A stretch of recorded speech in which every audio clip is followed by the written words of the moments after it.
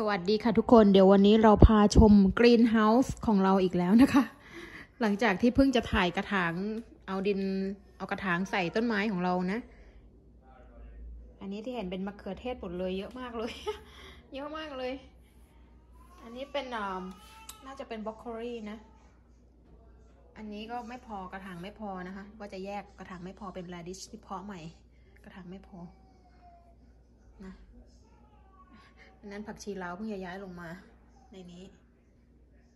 ข้างในนี้ก็จะเป็นผักต้นเล็ก ๆ ที่ยังยังเพาะยังเลี้ยงไว้อยู่นะยังไม่โตมากๆนะ แต่ว่าโตมากก็ต้องนะ ต้องย้ายลงกระถางแล้วไม่ก็ต้องย้ายลงดิน เพราะว่ากระถางหมดแล้วหมดแล้วจริง ๆ ที่ซื้อมาชุดใหม่ก็หมดแล้ว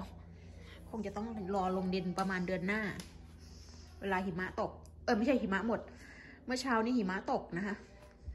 แต่ตอนนี้หยุดละ มันมะเขือเทศบางส่วนอยู่ข้างในนะคะ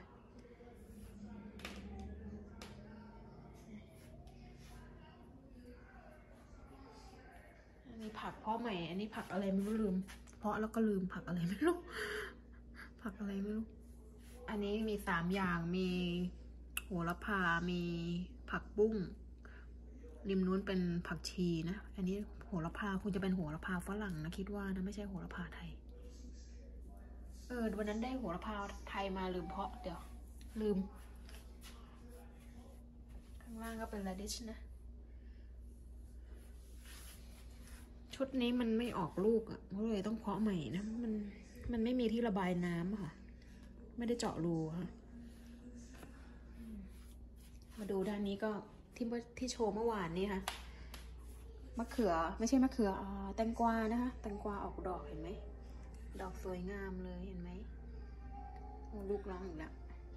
อันนี้ก็แตงกวานะแต่นนี้ไม่มีที่ลงลงเยอะเลย แย่งอาหารกัน ลงเยอะเลย นี่มีดอกอีก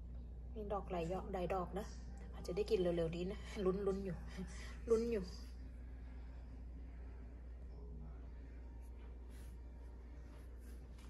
ก็ถั่วเมื่อวานนี่แหละอันนี้ก็ไม่ออกดอกสักที ไม่รู้จะออกหรือเปล่า ไม่รู้อยู่ในบ้านมันจะได้กินหรือเปล่านะเราก็ไม่รู้เหมือนกันนะ มันอาจจะต้องการเกสรอ่าผสมมแมลงมแมลงมาผสมเกสรหรือเปล่านะไม่รู้เหมือนกัน ปลูกนอกบ้านมันก็อกมันก็จะ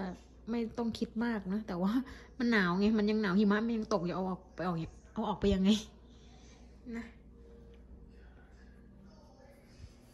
อันนี้ก็เป็น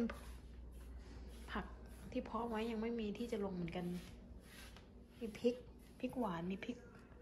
พริกหวานพริกไม่หวานไม่รู้เหมือนกันลืมผักชีนี่โมโห เพราะไม่ขึ้นโรยหมดในนี้เลย มันขึ้นแต่ว่ามันตายอะค่ะ มันขึ้นมาหน่อยแล้วมันตายก็เลยโมโหโรยในนี้หมดเลย เทโรยหมดเลยขึ้นเยอะเลยก่อนนี้ขึ้นเยอะเลย